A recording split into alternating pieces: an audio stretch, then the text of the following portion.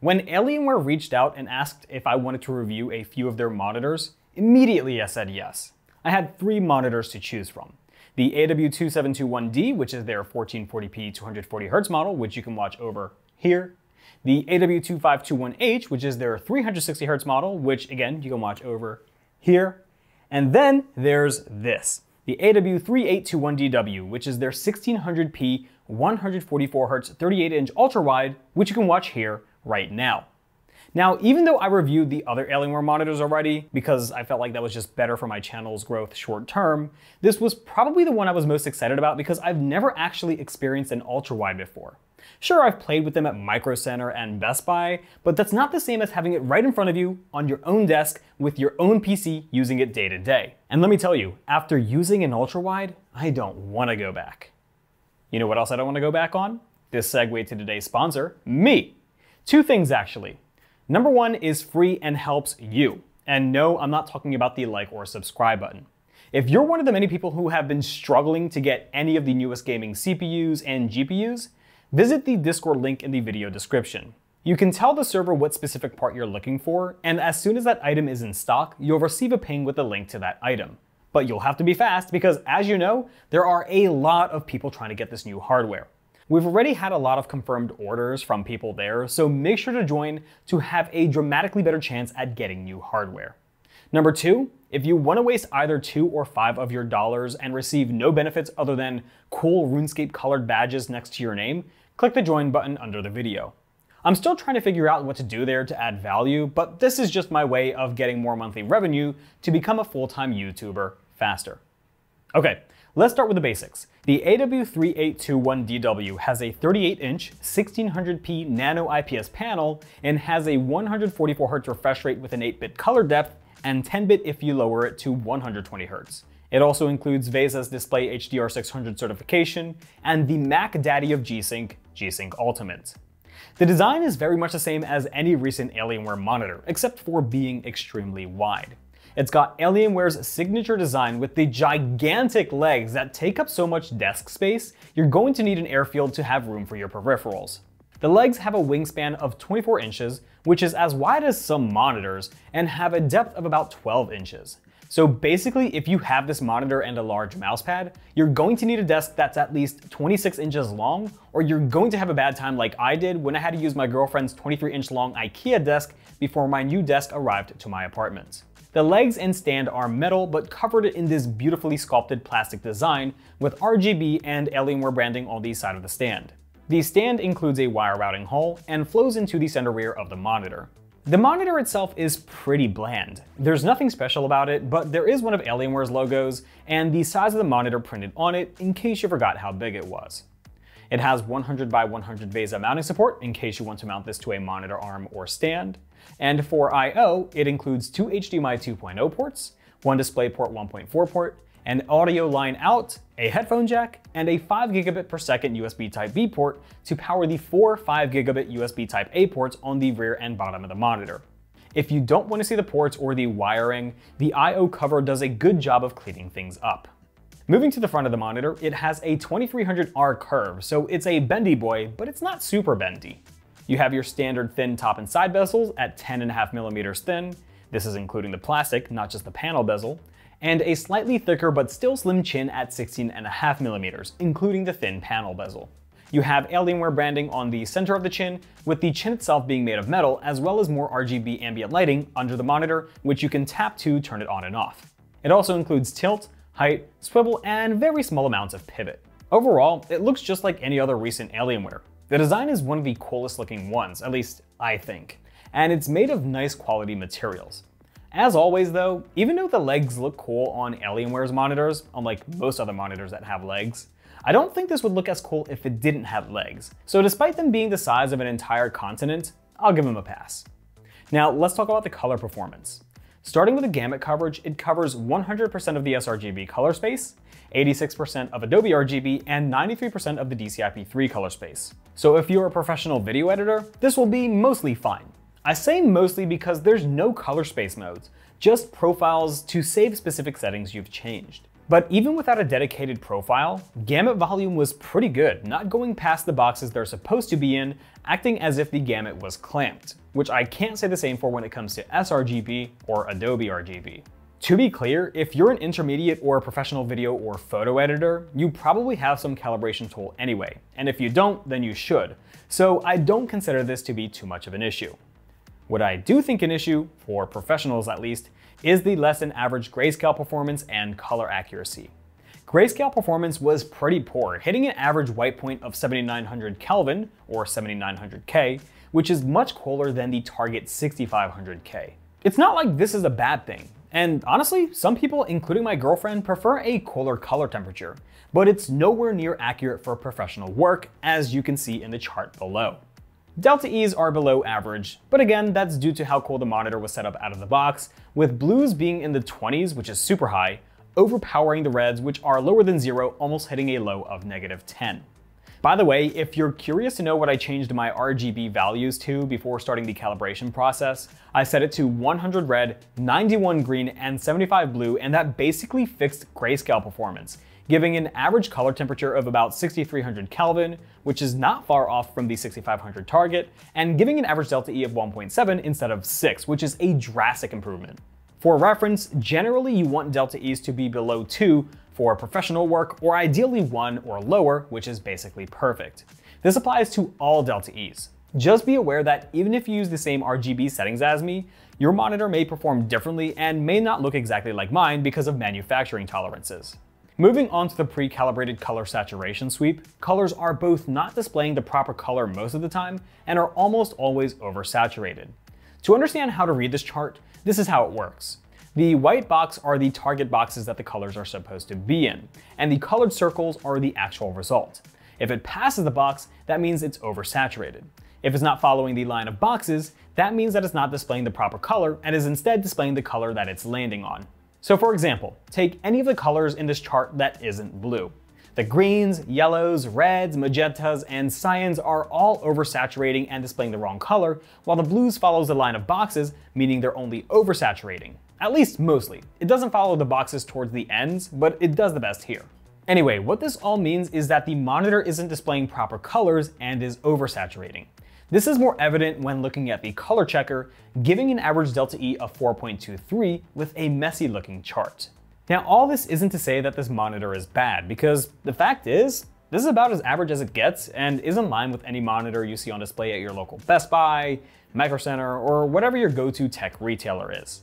I'm not here to scare you, I'm just here to let you know what to expect when you buy this beast. Anyway, as always, calibrating the display yields much better results, as it should. Grayscale performance is perfect, giving an average delta E of 0.8, which is less than that perfect 1% I mentioned earlier, and an average color temperature of 6600K, which is very close to that 6500K target.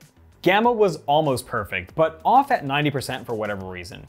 Not sure what that was all about, but I did test it multiple times to make sure that it wasn't a fluke, and it wasn't. Saturation was perfected, giving an average delta E of only 0.46 and a max of 0.96, which is fantastic. And if we move on to the color checker, we can see that the chart looks much cleaner with the colors being where they're supposed to be, giving an average delta E of only 0.57 and a max of 2.15, which was the 35% grays. Still acceptable though. Uniformity is also acceptable. Honestly, it's better than I thought an ultra-wide would be. I figured that since the panel is so wide and curved, that it would suffer from uniformity issues, but that wasn't the case here. Though the left side of the monitor does perform considerably worse than the right for whatever reason. Dropping from 100% white to 30% grays, and it performs much better. Though that's inherent with lower brightness since there isn't much light to show off the imperfections. IPS glow was about average with this monitor, but one issue I did have was pretty bad backlight bleed on the lower left corner of the monitor. I didn't notice this issue until I had my screen displaying a black image for this particular test, and that's probably because it's on the far left from where I'm normally looking, so I don't consider this to be too terrible. I mean, it is bad looking, but it didn't really hinder my experience. Viewing angles are also great. It's no LG 27GN850 or Dell S2721DGF, but there's almost no angle discoloration, tinting effect, or high contrast effect when looking from any angle. Now let's talk about the experience when using this monitor. As I mentioned in the beginning of the video, I've never experienced an ultra-wide in day-to-day -day use, and after using this, I've been constantly thinking to myself, why? Why haven't I used one before? Because honestly, the experience is fantastic. It doesn't matter if you're gaming, consuming media, or doing work. Everything about ultra wides is just great. Except competitive gaming, but we'll get to that. Let's start off with productivity. I always knew that you'd be more productive because I mean, come on, you have so much more screen real estate. But oh man, there is a convenience factor that I did not account for. Think of a 27 inch 1080p monitor versus a 27 inch 1440p or 4K monitor. Sure, you can fit more stuff on the higher resolution monitor compared to a 1080p display, but you're still going to have to deal with a small 27 inch 16 by 9 aspect ratio. When it comes to an ultra wide, whether it's 1080p, 1440p, or 1600p in the case of the Alienware, not only can you fit more stuff on screen, but you'll be able to do so without shuffling things around because you'll be able to keep all your windows at its normal size. This is not something that even a 4K display can do, since all the windows will be smaller if you're trying to fit like three or four Chrome tabs or something. When it comes to the whole media consumption experience, one thing I liked was that the black bars I normally see on top of a movie are gone, and instead are now sidebars. This basically enlarges whatever I'm watching, making a video bigger than it otherwise would be. I can't show you an example because I don't want to get a copyright claim, but hopefully you get the idea. It's not all perfect though. As I mentioned earlier, it includes VESA's HDR600 certification, and it's just not good. Its HDR peak brightness is alright, hitting 673 nits, but combine that with the poor amount of local dimming zones, which shows obvious vertical white lines, and it doesn't matter how many HDR checkboxes this monitor ticks, the experience is just not great, at least personally speaking. I found myself preferring SDR since that didn't include any vertical dimming zones, and the viewing experience wasn't far off compared to HDR. Then there's the gaming experience. You ever hear manufacturers say, next level immersion for literally anything new they release? Of course you have. The same thing goes for this monitor. On the reviewer's guide, it has the word immersive a lot, which was a red flag to me. And when going into this monitor, I thought that was just gonna feel like any other monitor, but wider. Man, was I wrong. Playing games casually on an ultra-wide monitor is on a different level compared to your standard 16 by 9 monitor. Everything just felt more full. Now, it didn't feel like I was actually in the game. It's not virtual reality, but when I wasn't playing super competitive titles like Valorant or Siege, it really takes up more of your periphery and does make the gaming experience much more enjoyable. It's gotten to the point now where I don't even want to play on a 16 by 9 monitor anymore. Combine that with G-Sync Ultimate, and you have a tear-free experience no matter how low your frames get since it supports the entire refresh rate range. Though personally I would prefer G-Sync compatibility to get the price of this monitor lower. Now remember when I said everything except competitive gaming is better?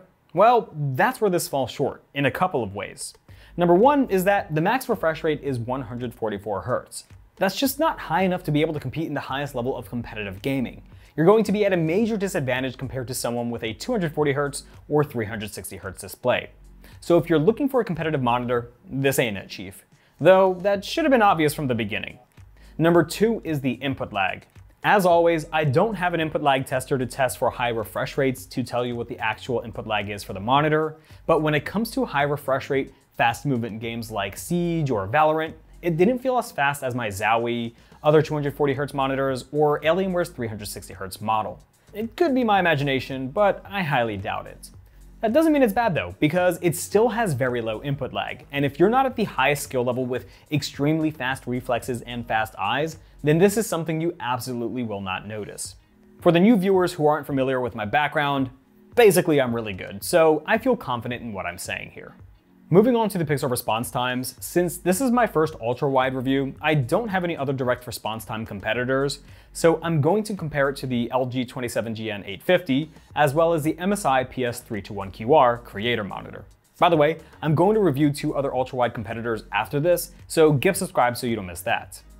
The AW3821DW has three levels of overdrive. Fast, which is the lowest and the default, super fast, and extreme. At 144 Hz and 165 Hz for the MSI, this is how the Alienware stacks up.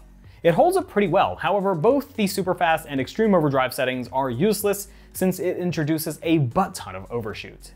As for how the fast mode compares to the LG and the MSI, it's kinda hard to pick a winner. They all perform similarly, though the MSI does seem to do the worst of them all, but only marginally. Dropping down to 60Hz also shows similar results between the Alienware, MSI, and LG. It's hard to pick a winner when on their best overdrive setting, but one thing's for sure, the Alienware does bad on super fast and extreme no matter what refresh rate you're looking at. So the best overdrive setting on the Alienware is the fast setting. I see no reason why you would ever go any higher. Again, I will be reviewing more ultra wides right after this, so if you guys want to see more comparisons between this and the upcoming ultra wide monitors, click the subscribe button below. Next is the black equalizer. It has four settings, off, one, two, and three. Starting with Escape from Tarkov in the garage, which is a pretty extreme example, and with the black equalizer set to off, things are pretty dark. Moving to one, then two, then 3 shows minor brightness improvements with each increase, but still being darker than I would prefer. I wish Dell would improve on their black equalizer because this is the same black equalizer they've been using on all of their monitors. At least every single Dell and Alienware I've used so far. This does include a color vibrance feature as well, but for some weird reason, you can only access them on the Game 1, Game 2, and Game 3 color preset modes, not anywhere else. Moving on to Rainbow Six Siege, here's off, then 1, then 2, then 3, then 3 with color vibrance. Overall, it barely does anything, and I'd be reluctant to even call it a black equalizer. So if you're basing your buying decision based off of a good black equalizer and color vibrance, this ain't it. Lastly is the OSD. You have a navigation nipple as well as four buttons, three of which are remappable shortcut buttons and one being an exit button. Pushing the nipple in accesses the full OSD, which drops you in the game menu. In the game menu, you can adjust your preset color modes, enable game enhance mode, which is the timer, refresh rate, which just display your refresh rate on the corner of the display, and display alignment. Then you have response time, which is your overdrive setting, dark stabilizer or black equalizer, and variable backlight, which tells the monitor how you want the dimming zones to act when they're enabled. As I mentioned already, I don't think the HDR on this monitor is that good, and the variable backlight does nothing to change that. Moving on, you have your brightness and contrast setting, input source, Alien FX lighting, which lets you adjust all of your RGB lights on the monitor to whatever color you want, audio for when you plug in your headphones or a speaker to the monitor, menu, which lets you change language from English to a bunch of other languages. You can adjust the transparency of the OSD, as well as how long you want it to stay up.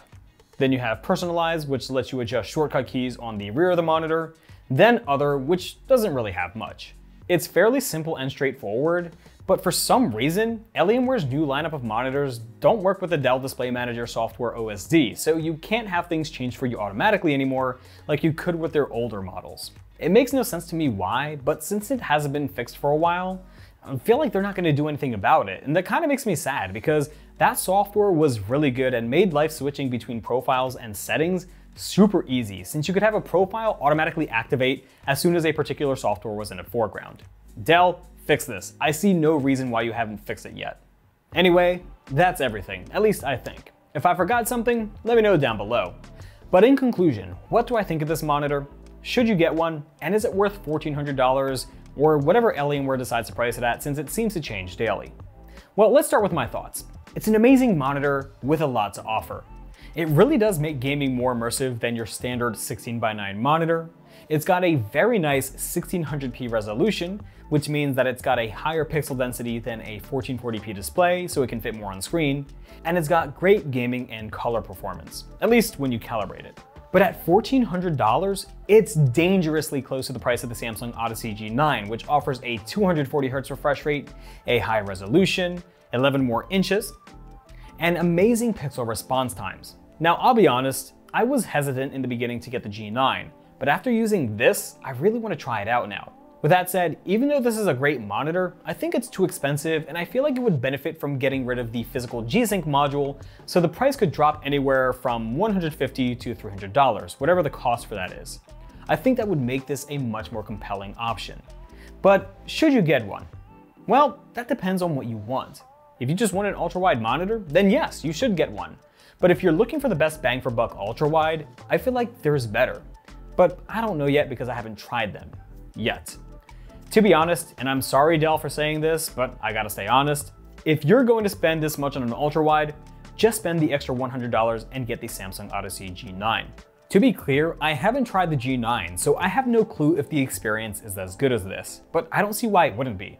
What I can say is that I have at least two more ultra-wides I'll be reviewing throughout February, so while I'm reviewing those, I'll find out if there's anything special that this monitor offers that those don't. Thanks for watching. If you guys enjoyed the video, leave a like. If you didn't, leave a dislike. If you want to check out any of the stuff I featured in this video, check out the links in the video description. Don't forget to give me your money, I mean support, Follow me on my socials if you want to see some cool stuff. And as always, have a great day every day. Peace.